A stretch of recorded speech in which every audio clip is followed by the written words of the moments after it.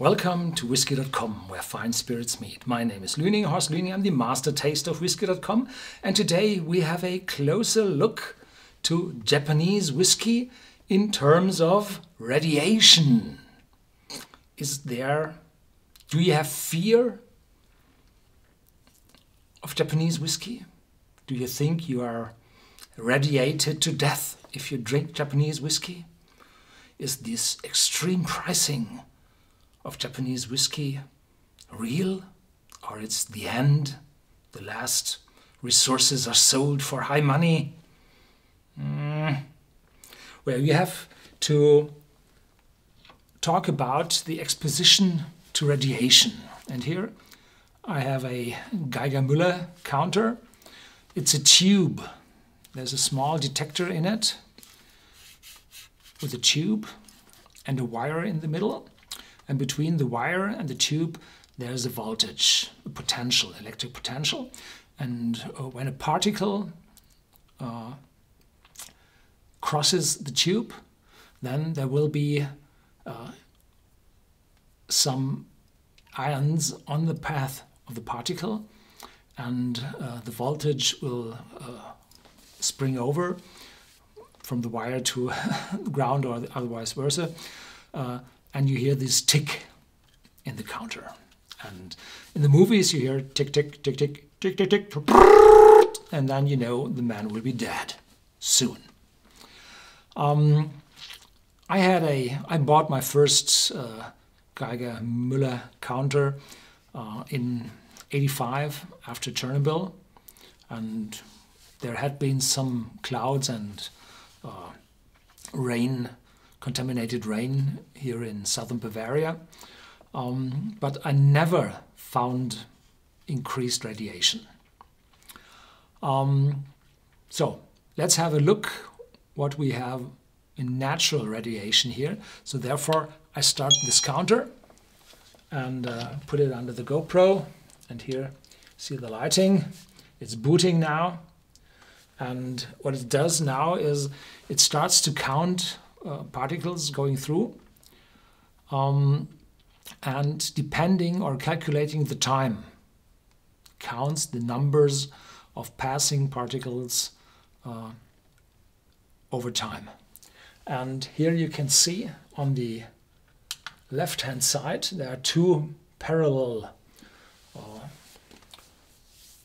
signs which shows it's the first seconds the uh, counting has started. Then the two parallel uh, lines will add to a longer line, and then it will start to uh, build a full uh, quadrant.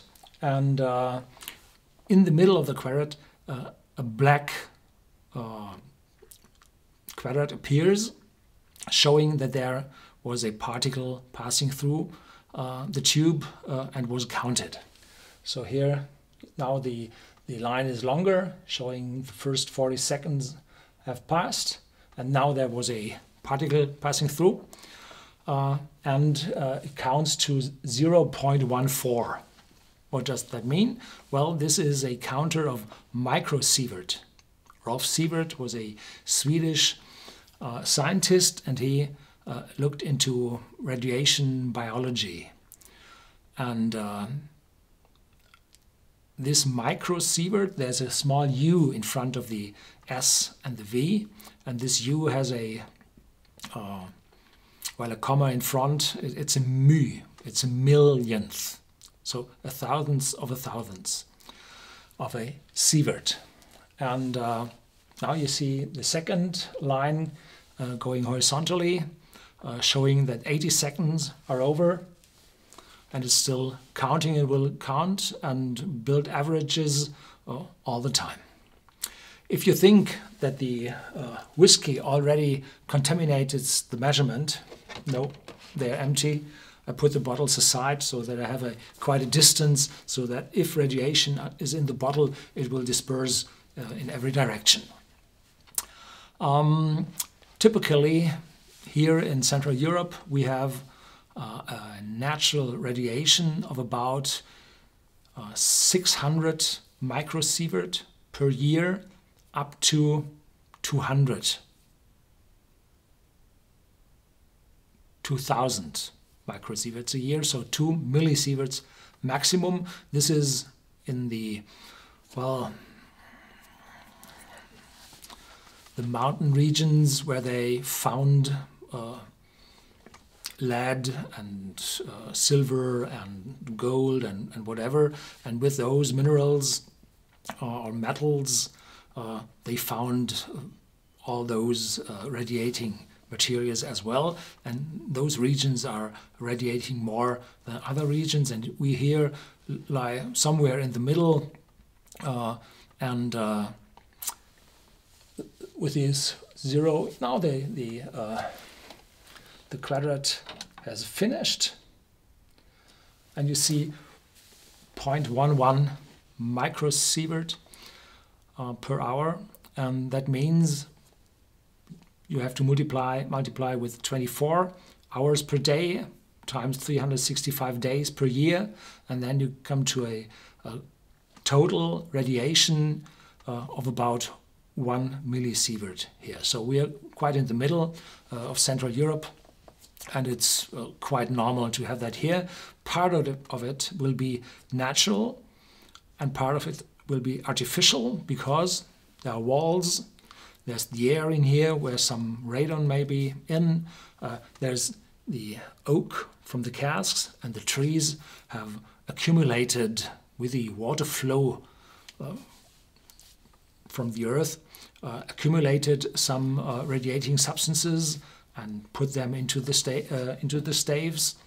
Um, and this will trigger radiation as well. So everywhere radiation is present, uh, it depends on which is normal, which is not normal, and with which we are used to, and which is abnormal and too high, which will have an influence on us. So now we're down to 0.1. This is quite a minimum I had over the last year, uh, last days or weeks, and now we can start to have the first one. It's a pure malt from Nikka and I put it here close to, uh, we started at point one, and now we will see it will go up very steep. no, it will go up because uh, statistics show that we here have an average of 0.14 to 0.18, which is quite normal here in the cellar. Uh, but the sun is going down in the moment, so the radiation from the sun isn't that high as it was over the over the day. Uh, uh, yeah, there's not, not much more here from the uh, whiskey. If there had been some contaminated water or contaminated barley uh, in that whiskey, then we would have seen really uh, a measurement. So I had a look with my old uh, counter uh, close after Chernobyl. There had been lots of children in the surroundings, and uh, so I looked at every uh, food they got, and everybody came to me have a look at the uh, at the radiation. Is there radiation? What's with the milk? We bought sterilized milk in hundred liters. We bought for the children. Um, but afterwards every milk was really okay because everybody looked after and if there was uh, a too high uh, amount of radiation coming from the milk then the milk was dumped no it wasn't dumped it was mixed with other milk until the level went down yeah so there was a scandal and, and then they, they shipped the radiation to egypt i'm sorry about that yeah that's economy uh, yeah, so not much here. Uh, and then we have the second one. This is also a no age statement whiskey, the Suntory Hibiki. And it's not changing as the other one. Um, my son will travel to Japan in May, and we, he will have this uh, Geiger Müller counter with him and we will have a look at the radiation at the distilleries. He will pass Fukushima and he will look after uh, the radiation there. And uh, Well, uh, most of the fear is generated by the media, and media is increasing volume, copy numbers in paper or uh, users, viewers, uh, if they are producing fear. So media has the the effect of projecting fear into the heads of the people. So be always careful about that, with what media says to you. Um, radiation is invisible, for the normal person uncountable. And this uncertainty, we always had fears for ghosts in the past. We looked below the bed for the monsters. Uh, so, and this fear is triggered by the radiation and by the media knowing that. So, there's no need to have fear for Japanese whiskies for these batches, uh, but we will have, of course, a look at the other whiskies we have here uh, because we have this measurement. So still at 0.11. Yeah. Nothing to see, nothing to measure. And one time I had an alarm from that uh, counter at 0.24, and this was uh, in the garden, and I think some shock wave from the sun passed our house, and there were a few fast uh, coming particles after each other. So uh, the counter went up. So the counter is not defect, it's working really. Um, yeah. Thank you very much for watching. Stay tuned, there's more to come and there will be Japanese whiskies or, or Japanese whiskies, yes, as well, and videos about Japanese whiskey distilleries uh, in the upcoming future. Thank you.